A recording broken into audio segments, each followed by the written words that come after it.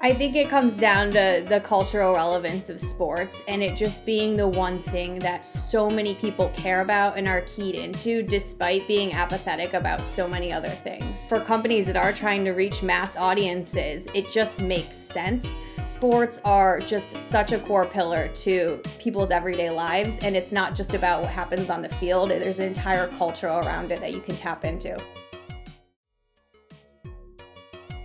Hi, everyone. It's Julie Verhage Greenberg here with your Tux Time podcast from FinTech Today, where we talk about all things FinTech. And in this episode, I am joined by Katie Perry, the VP of Marketing at Public, who's actually way cooler than the other Katy Perry that you thought about when I initially said that name.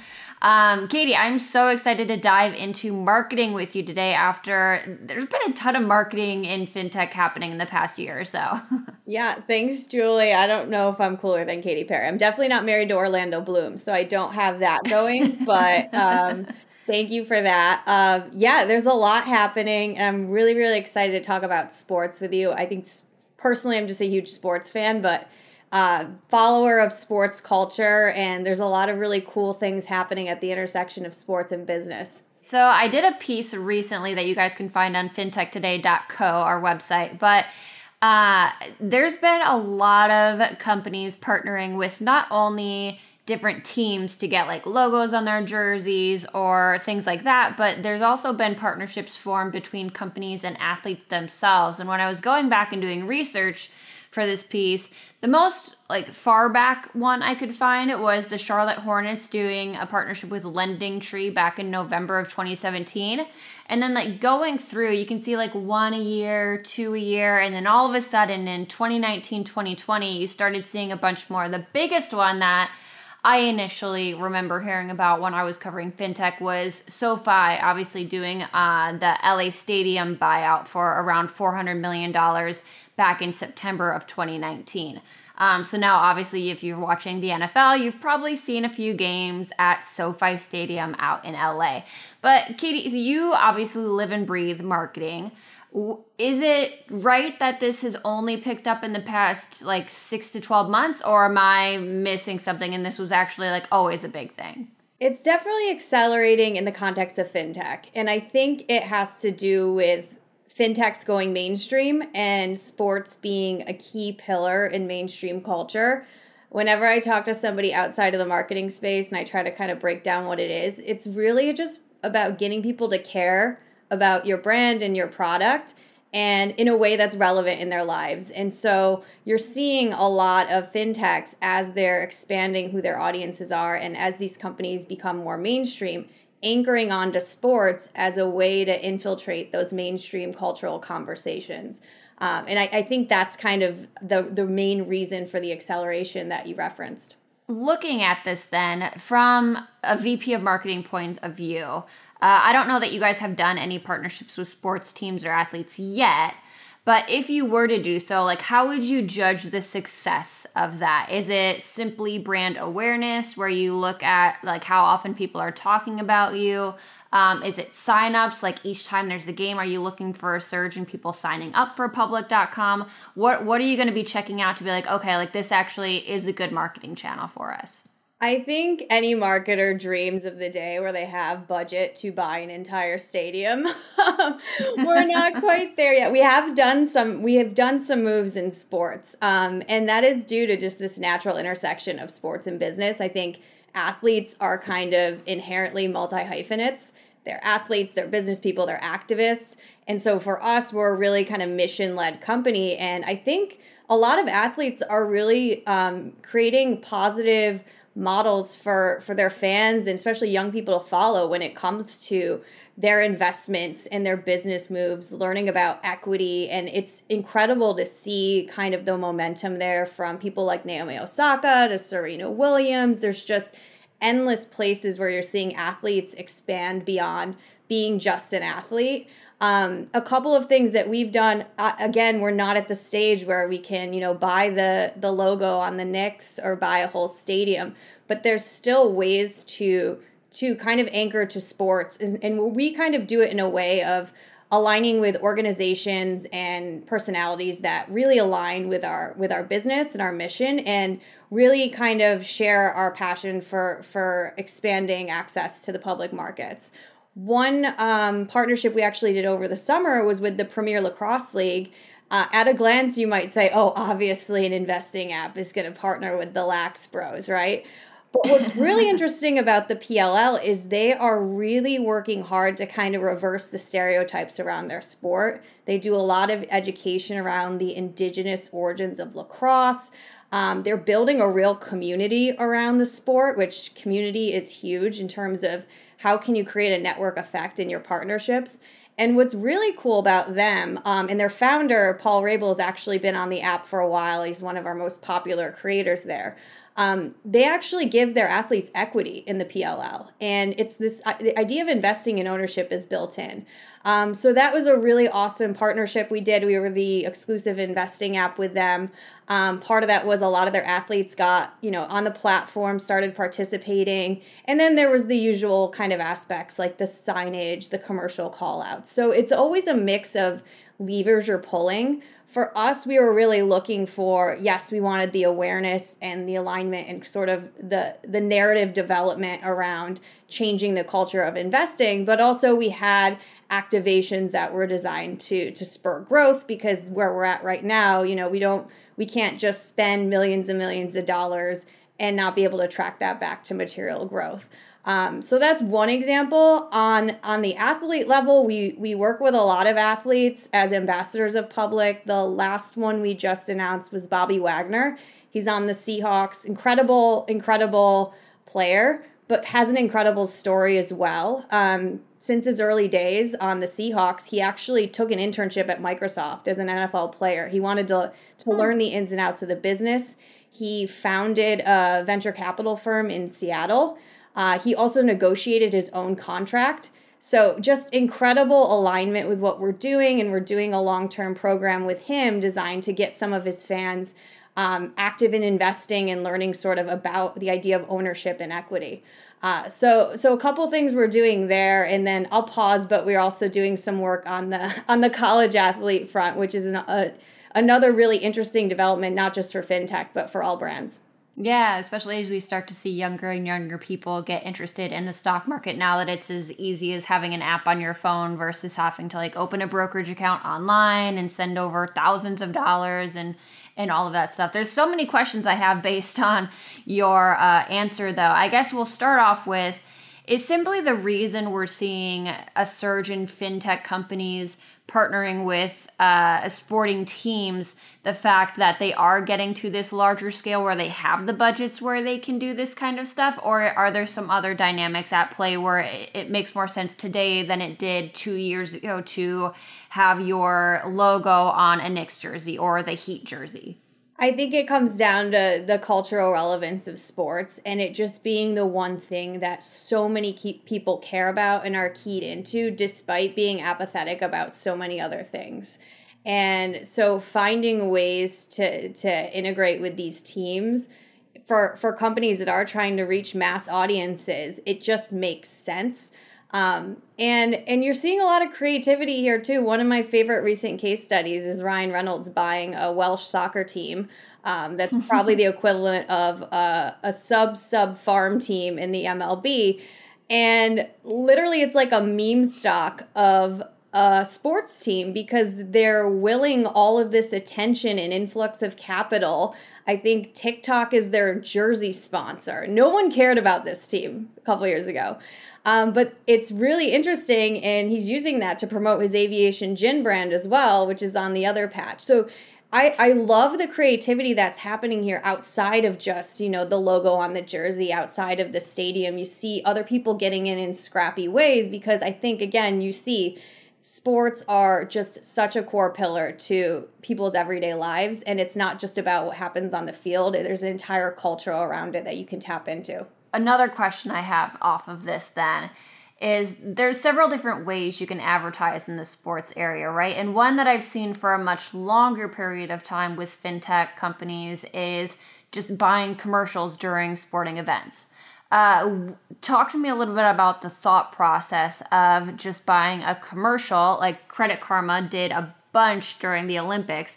Why why would someone like them choose to do that versus getting Simone Biles to be like a Credit Karma uh, advocate?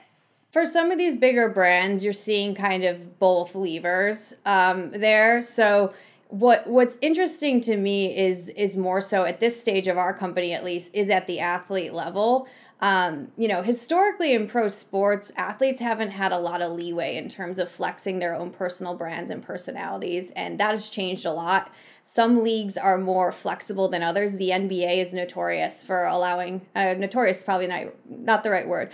Um, famous for for allowing their athletes to have personalities, and you know, part of that is you know they're they're not in masks. There's fewer people on the court, but you the the human side of athletes is really interesting when you think about like what authentic marketing looks like. There are very few professions and even like celebrity type of professions where you can see somebody's weaknesses you can see their failures you see their triumphs and it's it's really really interesting um, for brands that are trying to align with people that can create that emotional connection. Now of course those mass TV commercials, those all have impact. Obviously, there's reasons people do those. Um, but I think for bigger companies, you're seeing a mix of, of different tactics there. Yeah, and one that I can think of right away, uh, and this is again because I watched football over the weekend, is that FTX has this Tom Brady commercial where he's like talking to Gisele, be like, guys, I'm getting into crypto. And FTX is also, I mentioned in the piece, um, doing a sponsorship with the Miami Heat. So it, again, it's it's playing both sides of that coin. Uh, I, I'd be interested to know which You can't maybe you can correct me if i'm wrong actually measure which one is more successful than the other. I think the goal of both of them is probably more like brand awareness getting your name out there and a company like ftx in the crypto space has a lot of money that they can spend on these types of things right now. Yeah talk about a budget i would love to have. Um, like i don't even know that must be a full-time job just figuring out how to spend that money for for someone. But yeah it's the the measurements really tough on these awareness things especially if it's like uh, an extended flight like a jersey logo. You can't say oh this this ad ran or we had this post go up and track it back um, there's definitely a lot of like analytics partners and, and ways of kind of backing into it, but it's always a bit of a leap of faith on those things. And that's why, you know, smaller companies, it's not just about not having the budget, it's that, you know, you don't necessarily have the luxury to only kind of mark those impressions or awareness metrics. You really want to continue to to drive against the business goals in a way that's measurable, uh, especially as you're just getting started. So you, you can optimize and figure out kind of what the next moves are if someone uh, is going to do a sponsorship, are they approaching the teams? Are the teams or stadiums approaching them and sending out a call like, "Hey, our sponsorship runs out in next year. Whoever is interested, give us your best offers." Like, how exactly does that work? They're definitely approaching us. Um, the especially after we did the Premier Lacrosse League, the amount of inbounds we received, like any logo, any team, any league, any athlete, you name it. So these sports organizations and the people working there are very savvy. They know kind of that fintechs have a growing interest. They know, you know, we're going after mainstream audiences and they know sports are an effective way to do that. Um, we we never need to reach out to anyone on this stuff. It's, it's funny, like the first few I got really excited. Like uh, you know, Public's probably the most well-known company I've worked at. I was like, ooh, the Knicks want us to be on the logo. Like, I felt special for a second, and then I was like, wait a minute. Um, so it's they're really savvy and and they know what they're doing, and they're definitely being very aggressive in the outreach and the pitching of this. Has any of that changed post COVID? Because I know for a long time, just given that uh, obviously when the pandemic was going on, a lot of sports had to be canceled, and advertisers had to take those dollars elsewhere. It is the budget that or the price that they're asking i guess i should phrase it as more or less than it was before or uh, like how is that sort of playing out just given that there essentially was very little sports advertising prior to this season for about a year yeah, I don't have an exact point of reference because before the pandemic, we were in a much different stage and they definitely weren't hitting us up yet. But I will say, anecdotally, from what I've seen, sports are back.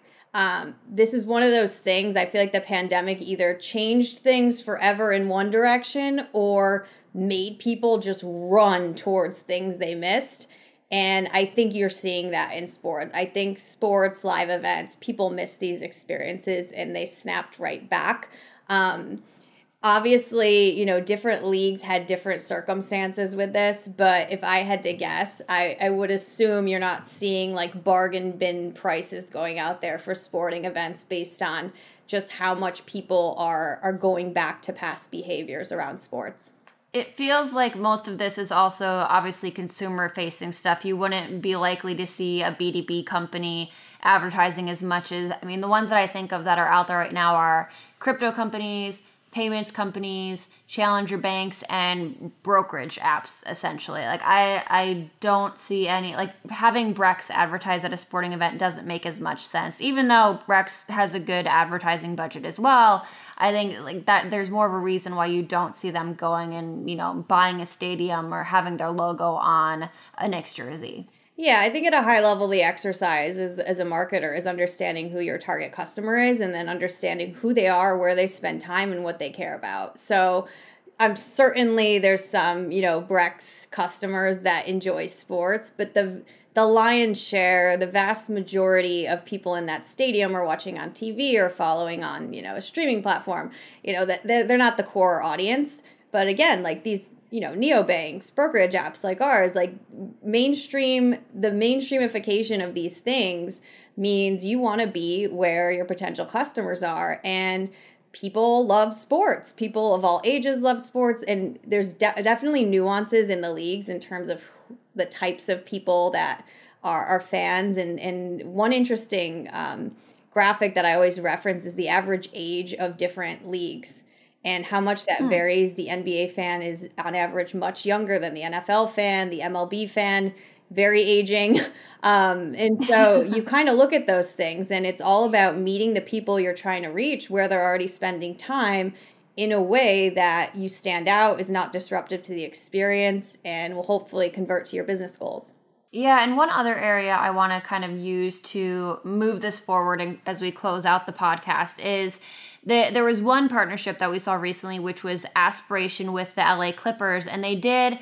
I forget exactly what the terms of it were, but there was like a sustainability pledge that went along with it. Is that something that we're likely to see more companies add into the agreements that they make? I think so. Actually, one team that's doing an incredible job of this is Angel City FC, which is the new um, women's soccer team out of LA. I think Natalie Portman's an owner, Alexis Ohanian, and some other people they've actually built into their strategic partnerships a percentage where they're giving back towards whatever the mission of that company is. So if we were to do something with them and spend, you know, X amount of dollars, they would commit to a certain percentage of that going to financial literacy or economic empowerment or, or whatever it is. I think that model is brilliant. It allows mission led brands to um, have a partnership with a team that aligns with them. It in terms of Angel City, I think one of the most brilliant things they're doing is building a true community. And that's how you do it through these sort of programs that aren't just let's slap a logo up there, but like having partners that are pushing pushing values forward that their their viewers and their fans care about. So they're definitely one to watch. And I think just in general, um, what I hope to see, and I, I think we're seeing more of, is more sort of um, ad dollars going into women's athletes and women's sports. Um, obviously, in the past, that's not where most of the budgets have been going. It's tied to viewership and the types of support that these leagues and athletes get. But you are seeing a lot of um, women athletes and leagues really leading the way here. And I think that's a great thing, um, especially for companies that are going after, you know, audiences that they want more diverse audiences. That's where you find them um, and there's a lot a lot of momentum around women's sports right now. You're following the WNBA playoffs tons of excitement. Um, we did a partnership with just women's sports recently. They're an incredible platform that focuses on uh, women's sports news so i would advise all marketers in fintech to not overlook those opportunities there's a lot of really interesting things happening there well, that's a great way to close things off. If you guys want to learn more about Public, go to public.com. They also have an awesome app that you can download. Um, and if you want to hear more uh, about fintech in general, go to fintechtoday.co. That is our website. Otherwise, Katie will have to have you back on again when you guys are on the Knicks jerseys or some other team's jerseys. Thanks, Julie. Also, just wanted to call out we're hiring. So public.com slash careers if anyone wants to take a look and join our team to keep things on theme. Um, but thanks so much. I love talking about this stuff and I appreciate you having me on. Thank you guys. Yep, highly endorse working at Public. They're a fun bunch. We'll see you again next time. Bye.